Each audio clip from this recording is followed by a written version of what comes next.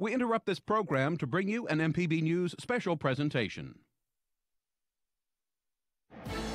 Live from the state capitol in Jackson, MPB News brings you Governor Phil Bryant's annual State of the State address, delivered to a special joint session of the Mississippi Legislature.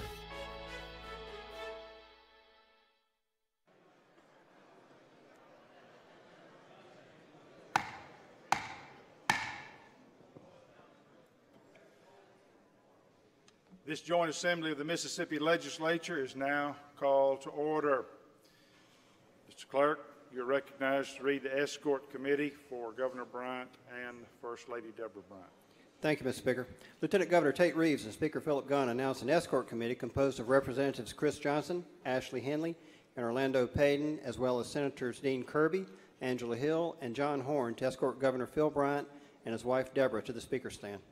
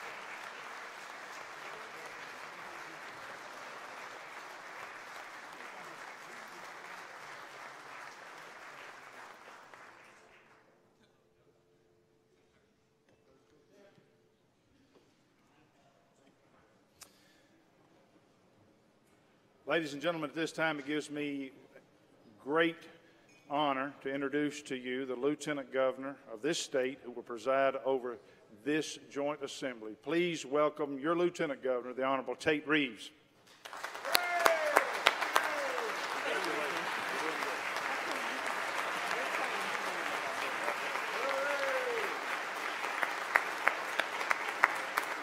Thank you.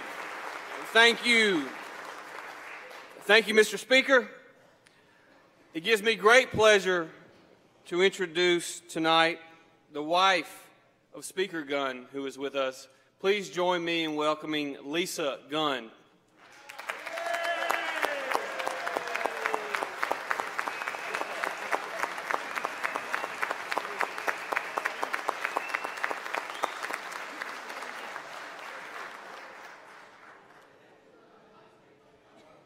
And now let me introduce House Speaker Pro Tem Greg Snowden.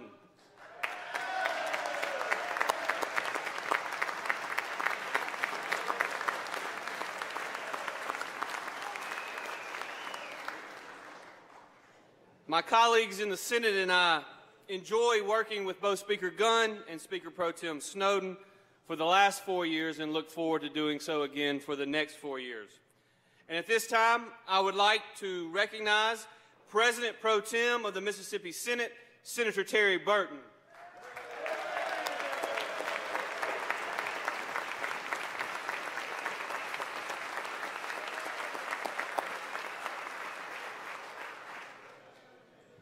And now, let's welcome our statewide elected officials in attendance tonight. First, Secretary of State Delbert Hosemann.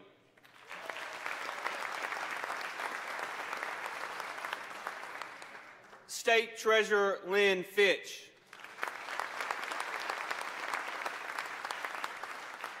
Commissioner of Insurance Mike Chaney.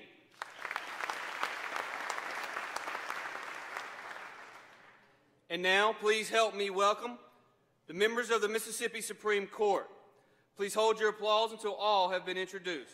Chief Justice William L. Waller, Jr., Justice Ann H. Lamar, Justice James W. Kitchens, Justice Leslie D. King, Justice Josiah D. Coleman, Justice James D. Maxwell, and Justice Designate Dawn H. Beam. Please join me in welcoming them.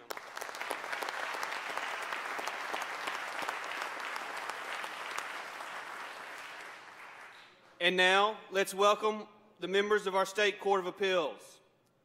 Chief Judge Joseph Lee, Presiding Judge Kenny Griffis, Judge Donna Barnes, Judge David Ishee, Judge Virginia Carlton, Judge Eugene Fair Jr.,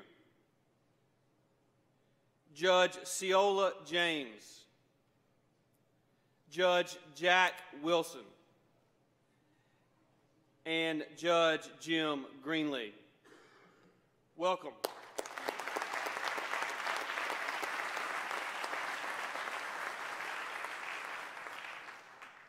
And now join me in welcoming the three members of our Public Service Commission.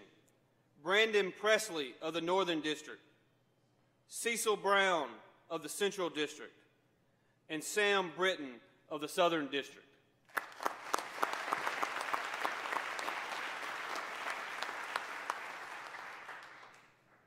Please join me in welcoming the members of our Transportation Commission with us today. Mike Tagert of the Northern District and Dick Hall of the Central District.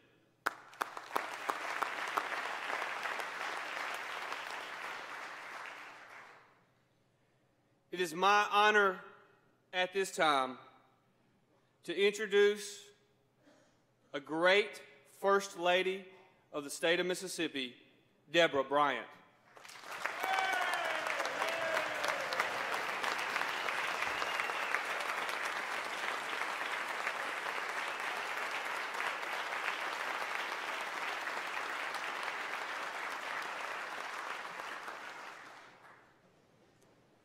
And at this time, it gives me great pleasure to welcome the governor of the state of Mississippi, the Honorable Phil Bryant.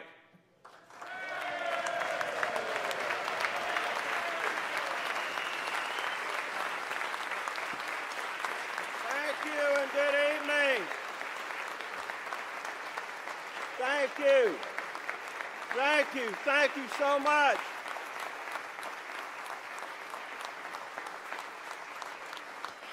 Thank you for that wonderful welcome. Thank you, Mr. Lieutenant Governor. As always, I appreciate your presiding over this, our fifth State of the State together. I'm confident this term of office will be as productive as our first one. This state would not have enjoyed the success I have been able to report these past four years without the leadership of you and Speaker Gunn. No governor has ever had the benefit of any better partners along the path to Mississippi's future. I earnestly and sincerely thank you and your honorable membership. Now, each year I've noted the most energetic applause has been reserved for the First Lady. Mhm. Now, personally observing her hard work and dedication to the people we all represent, I can understand that reaction. I need only thank my First Lady for 39 years and Mississippi's First Lady, Deborah Bryant.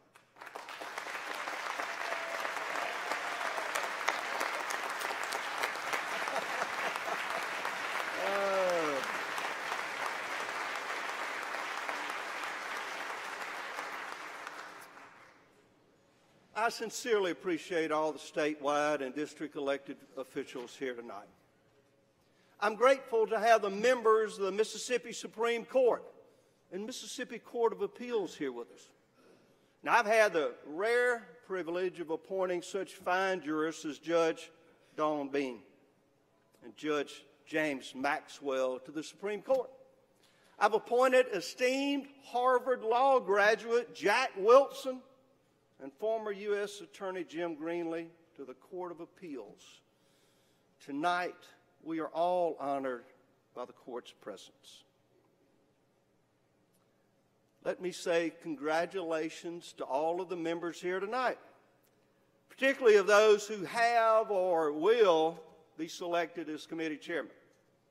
Now, I can assure you the leadership weighs every appointment with extreme deliberation and attention. And I'm certain you will do no less in the consideration of your important duties as committee chairman and chairwomen. 25 years ago, I took the oath of office as a member of the House of Representatives. It was a wonderful day and has been a beautiful journey. But all along the way, I've remembered the pride and excitement I felt becoming a representative of this body and a humbled public servant. My goal then, as it is today, was to do the most good and I believe we've all had help accomplishing our goals and our personal and professional life. You see, I am confident God continues to rule over the affairs of man, and I believe He has blessed Mississippi's leadership and its people. We now face a new year where I am able to inform the people and the duly elected members of the House and Senate the state of the state of Mississippi is sound.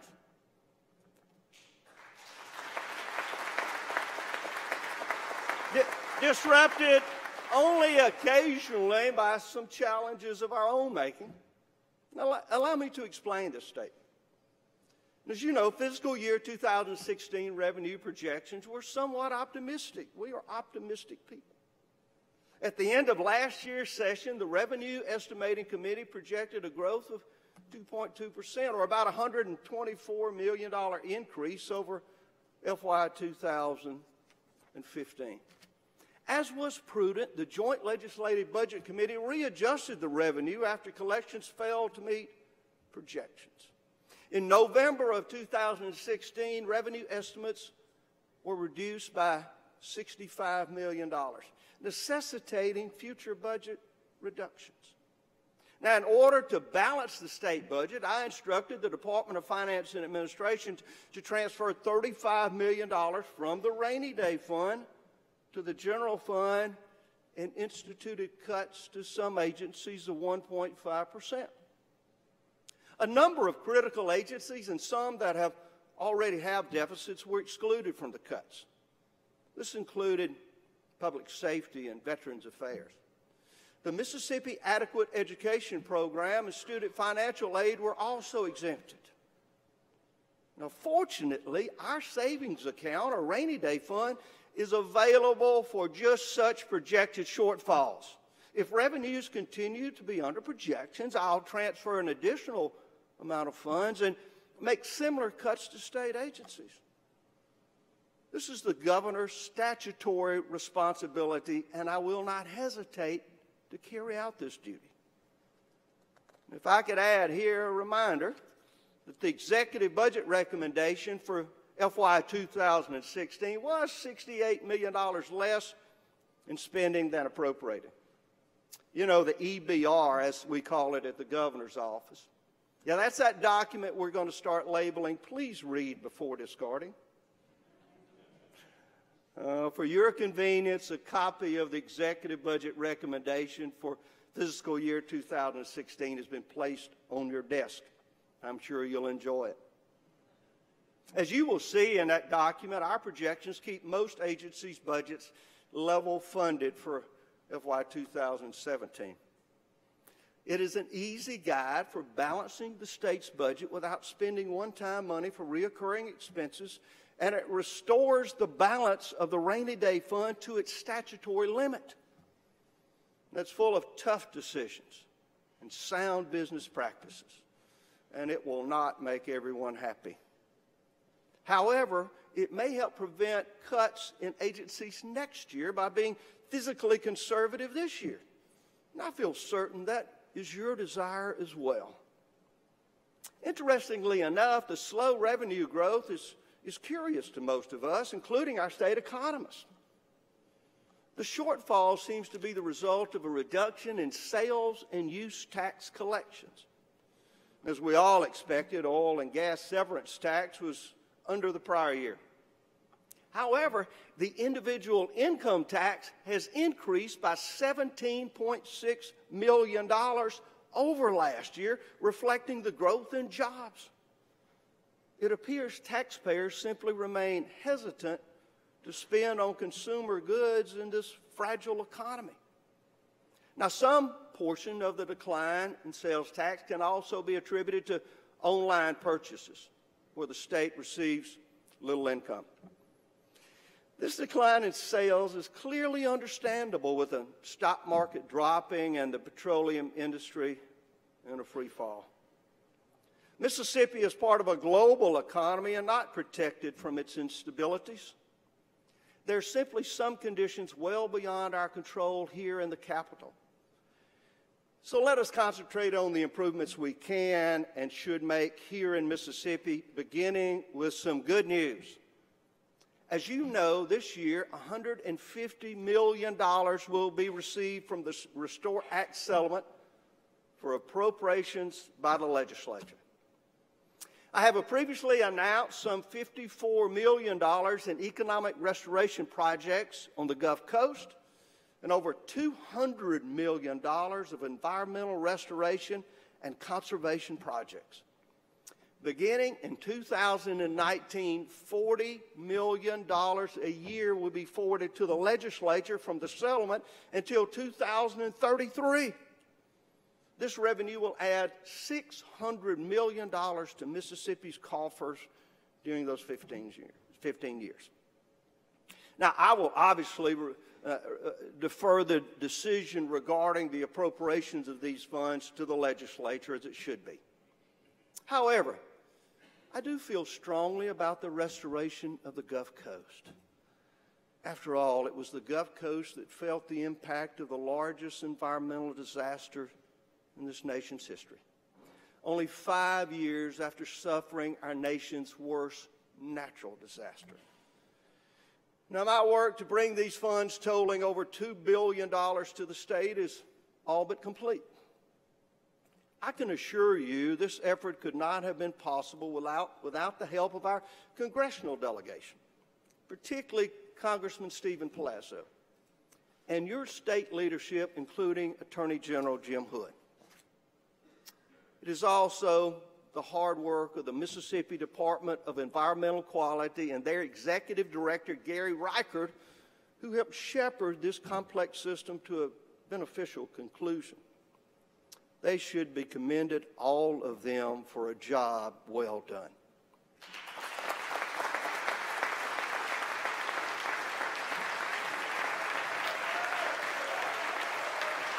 Thank you.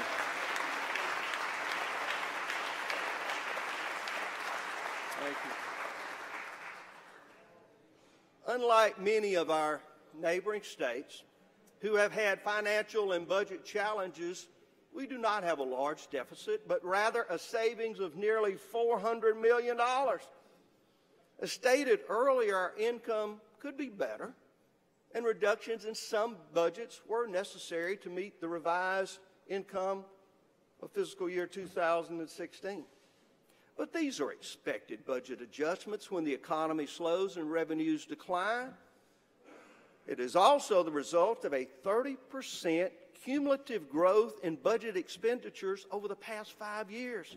Our general fund budget grew from $4.4 billion in FY 2011 to 5.7 billion in 2016, a five-year increase of more than a billion dollars. Now, these increases have included $400 million more spending on K through 12 education and overall increases in education to include a $100 million teacher pay raise.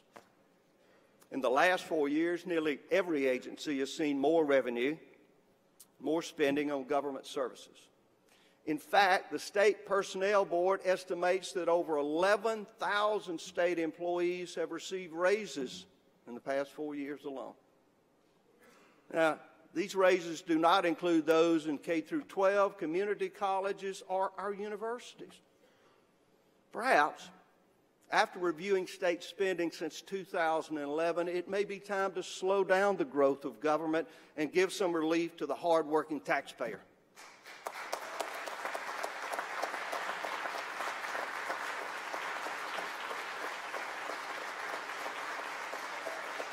Thank you. Thank you. Now, I am certain we will have a robust debate this session regarding tax reductions. As for me, I believe we must work towards a plan where the hardworking blue collar families of Mississippi get a tax dividend. It may not be this year, but when we are having surpluses and a full savings account, let's pledge to give the people back a portion of their hard earned tax dollars. More Mississippians are working today than any other time since November of 2008. Over 40,000 more people have jobs, and more than ever have begun to search for work.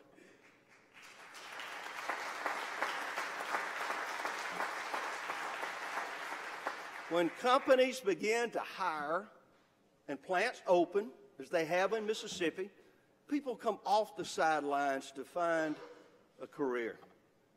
This adds to the demand for more jobs. Tonight, according to the Mississippi Works app, you can check it, there are over 41,000 careers available across the state, while over 12,000 individuals are receiving unemployment benefits, according to the Mississippi Department of Employment Security. It is this skills gap we must fill to reach our goal of full employment. Now, last year, I asked you to invest $50 million into workforce training utilizing our community colleges and assisted by our state workforce development board. These funds would go to modernize equipment at community colleges and place students into workforce training for the middle skills that we so desperately need. These additional workers will generate more tax revenue and help state needs or provide the blue collar dividend I spoke about earlier. Now, there's no conflict with this administration in demanding accountability for these workforce funds. I am proud to say we were the first state to submit a workforce innovation and opportunity action plan to the U.S. Department of Labor.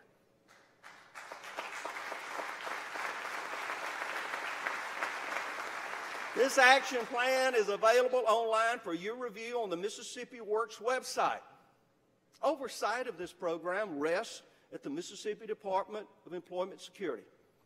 We have reconstructed the State Workforce Development Board and have submitted this reorganization plan to the state auditor and legislative leadership for review. Now, time to make the investment in Mississippi's workforce before it is too late. We have $50 million sitting idly in the unemployment trust fund. Let us please invest it now in workforce training, and I will show you Mississippi's greatest potential. We can lead the nation in economic development if you will give us the tools to reach these goals. Rush with me tonight through the entrance to the future. Or stand behind as it closes on the careers of Mississippi's next generation. The choice is yours. All of you who will move boldly into this new opportunity, join with me tonight and move together forward.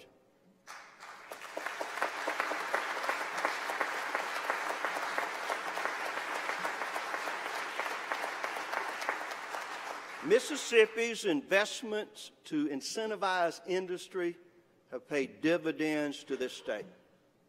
Our return on investment report indicates an 11 to 1 return for every dollar spent for this purpose.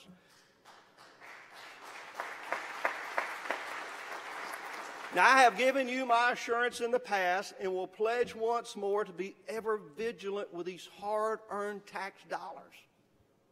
More than a decade as state auditor gave me an abundant sense of caution. I will refuse any economic development project that will put your trust or the taxpayer's investment at risk. Now, time does not permit me to list all the accomplishments of our economic development effort this past year. For your benefit, I will summarize by providing the important outcomes. It includes the addition of over 5,000 jobs and $787 million in private investment in 2015 alone. In four years, the Mississippi Development Authority projects have brought the state over 21,000 jobs, and $3 billion in private sector investment. We now do business on a global scale. In fact, according to the U.S. Chamber Foundation, we are the number three state in America for export growth and the second best for overall cost of doing business. This is something we should be proud of, Mississippians. And as always, I promise to keep these remarks brief no matter how long it takes. so let me move urgently to this administration's aggressive agenda. First, I need your help in providing security and protection for the nearly 5,000 foster children now under our care.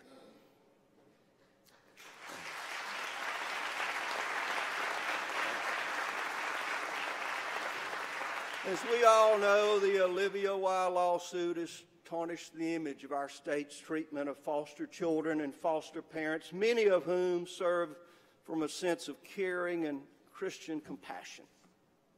As is required by the laws of this state and nation, we must accept our responsibility to adequately care for these children. I will ask you to help support Family and Children Services, currently housed at the Department of Human Services, to be fashioned as a separate agency that reports directly to the governor. Now, to reduce the cost, we can utilize that portion of the funding currently being spent at the Department of Human Services for this division, plus an additional amount that must be decided by this legislature. I am concerned if we cannot make some aggressive commitments to foster care in this state, then the courts will do so for us. Many of us recently had some opposition to a constitutional amendment that would have given the courts appropriation authority. Now, I believe we should be just as determined not to accept the same principle in this instance. I ask you to make a decision that will protect our foster children and allow you to retain the appropriation authority in the legislature where it belongs. Fortunately, I am not alone in this desire to improve our foster care system. I have a powerful ally and a man of honor and distinction. He is a noted educator and jurist who traded the prestige and acclaim of the Mississippi Supreme Court to serve a calling to help our children. Please help me thank Justice David Chandler, the new Director of Family and Children's Services. Justice Chandler. Thank you, sir. Thank you.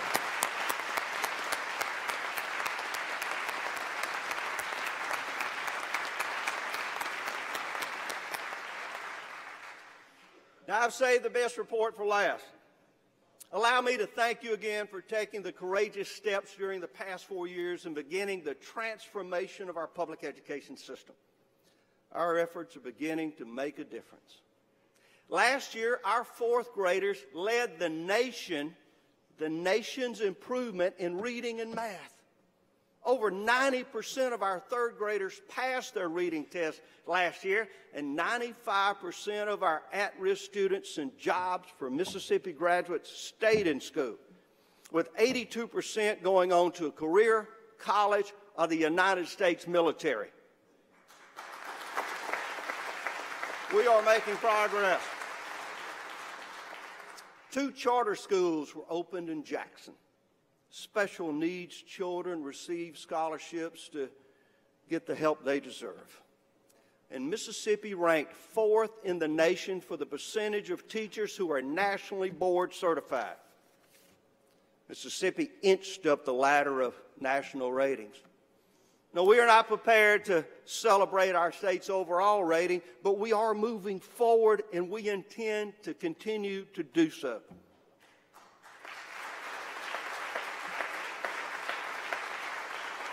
I, I will ask you for more innovation by first changing how we go about selecting our local, local superintendents of education. Of the entire nation, Mississippi has one third of all that are elected to this important position.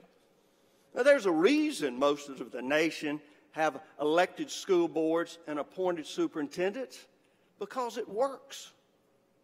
Now, I'm not critical of all elected superintendents.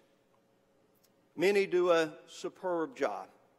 But the very nature of a political office limits the pool of applicants for this important job to one district and sometimes only a few candidates.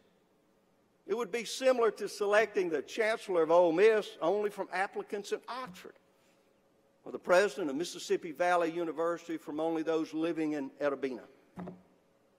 Now I realize we should not remove any elected superintendent from office but we can work through those issues and find a better path forward. We should elect our school boards and allow them to appoint the district superintendents.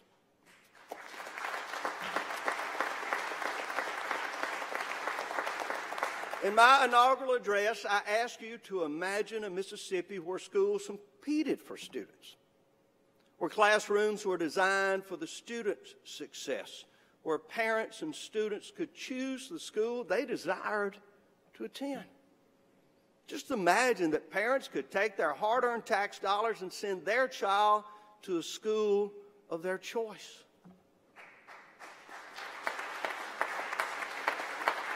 Imagine the freedom of a parent in a failing school to send an at risk child to a superior school nearby but outside of the district.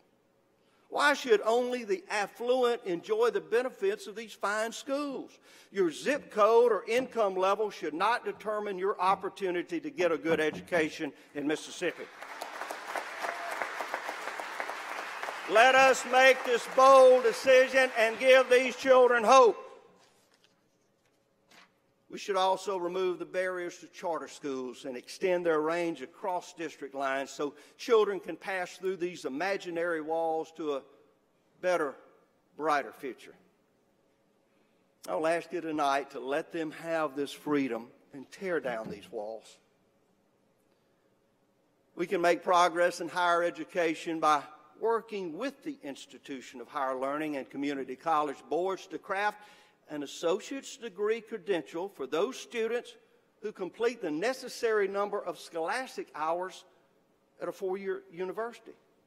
For example, if a student attended a university for two years and completed the required coursework, but had to leave the university for a legitimate reason, they could receive an associate's degree related to their subject major. in several other states, this has been successful, and it can be here as well. Of course, we would need to request the proper approval from the Southern Association of Colleges and Schools before moving forward, but I believe we should allow these students who leave college because of the unforeseen demands of life to receive some credentials that will help them begin their career.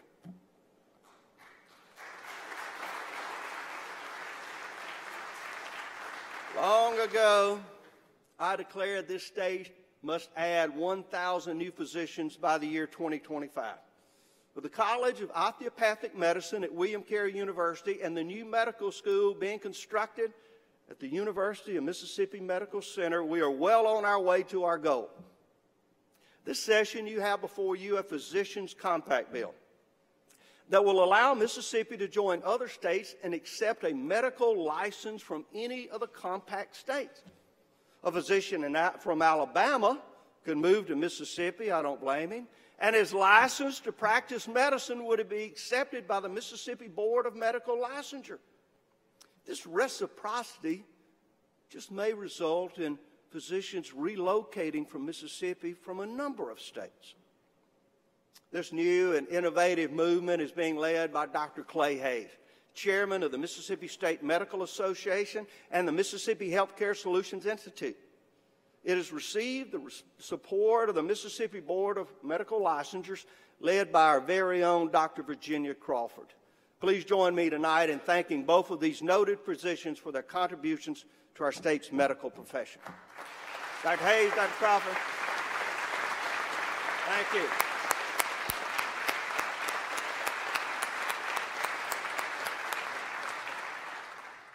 Great deal of effort has gone into a transportation plan developed by the Mississippi Economic Council, our state's Chamber of Commerce. This independent analysis of our highways and bridges was not left to a government agency, but to a group of business leaders. The man steering this noble effort is not in the asphalt or cement or the construction business. He is one of our state's most respected industrialists, and his company is a national leader in the poultry business. He is a philanthropist and sponsor of the Sanderson Farms Championship, our PGA Tour golf tournament. He is with us tonight, and we should all thank my friend Joe Sanderson. Joe, thank you.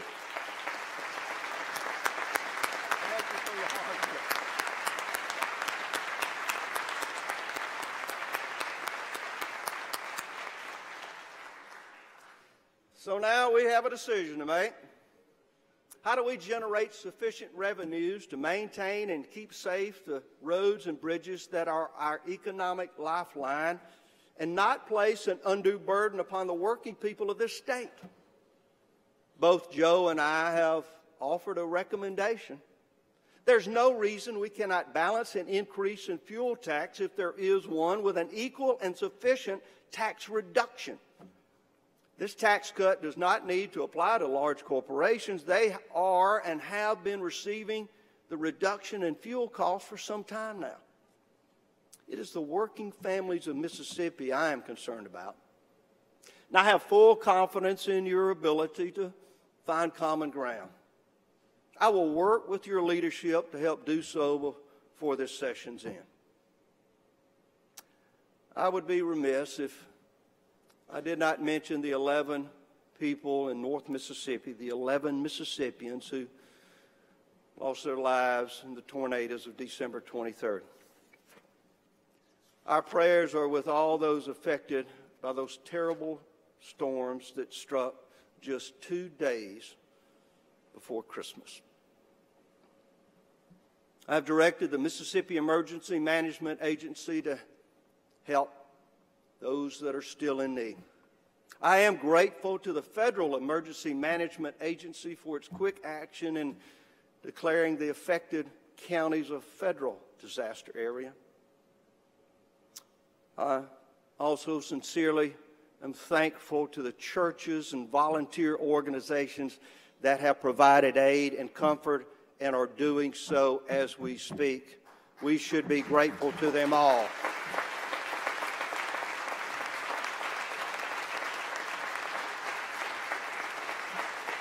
Thank you to all for working hard tonight to help those that have suffered so much.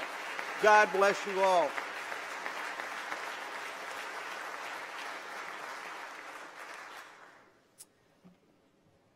In closing, I encourage us all to reflect upon the words of King Solomon and his prayer. The wisest king of antiquity wrote, I am but a little child. I do not know how to come out or go in. Give your servant, O Lord, therefore, an understanding mind to govern your people, that I might discern between good and evil. May we all have such a prayer in our hearts as we move forward together. Thank you, and God bless you. God bless Mississippi, and God bless these United States of America.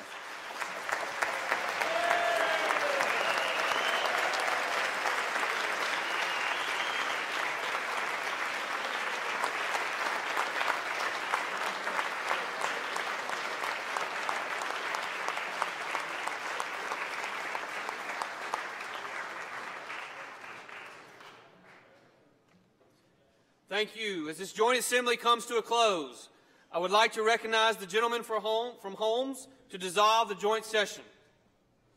Mr. President, I move that this joint assembly be dissolved.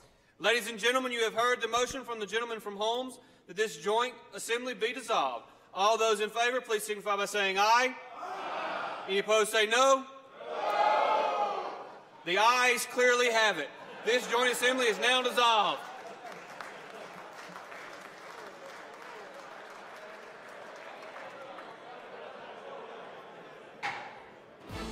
And now, the Democratic response. I have three points to make. I think I can do them in about three minutes. Please hear me out. My name's Hob Bryan. I live in Amory. I'm in the state Senate, and I'm here to talk on behalf of the Democrats in the state legislature. We understand the Republicans have most of the seats in the legislature, and to a large extent, they can do pretty much what they want to. But we don't think our role is to come down here and have four years of partisan bickering. We think we should work together to do what's in the best interest of everybody in the state, and we think that's what folks expect us to do. We don't think the Republicans are wrong about everything, and we don't think the Democrats are right about everything. But there are three issues we're concerned about that I'd like to mention to you. The first is public education. Forever, the state of Mississippi has sent money to local school districts to try to help them educate children. Right now, the formula we use to do that is called the Mississippi Adequate Education Program. This was adopted in the 1990s it had two thirds of the votes in the House and the Senate. It was a bipartisan effort, and it's the law. But over the past few years, the Republicans have been underfunding this formula by hundreds of millions of dollars every year. That means your schools, your local schools, have had to cut back. They've had to do without the number of teachers they need. They've done without important educational programs. And of course, as you know, they've had to raise property taxes just trying to keep things together. Our teachers and our students are working. They're working hard. The legislature needs to do right. We need to give the local school districts the amount of money the law says they're entitled to so they can educate children properly. And our universities and community colleges need help too. Community college is where you're supposed to be able to go and get a really good education at a really inexpensive price. And at our universities, tuition has gotten so high that it's difficult for many people to afford college. We need to do right by education and we need to do right by our children. Secondly, there's our state highway system. It's worth 20 to 25 billion dollars, but we're not even putting enough money into your state highway system to maintain the roads and bridges that we have. We need to keep safe roads, safe bridges, and this is important for economic development, which leads to jobs. No rational person would let an asset of 20 to 25 billion dollars deteriorate just for failure to maintain it. We need to figure out a way to maintain our roads and bridges. Both of these things cost money, which of course leads me to my third point. We just can't afford these huge tax cuts that the Republicans have been passing. They've passed hundreds of millions of dollars in tax cuts to do things like reimburse Walmart and other folks for their, their property taxes. They're reimbursing out of state oil companies for their property taxes. They've given your money to go to developers to build shopping centers in suburban Jackson. And they've even gone so far as to cut taxes on whiskey.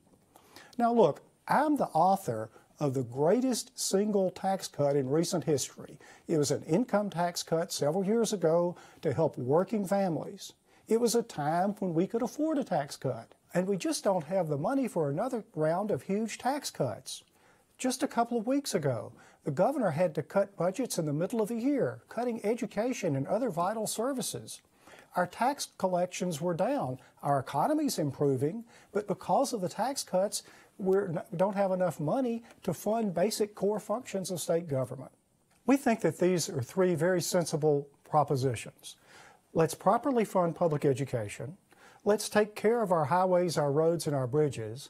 And let's not have another round of huge special interest tax cuts that we just can't afford.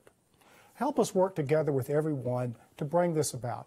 Because just like the Republicans are not always wrong about everything, they're not always right about everything either.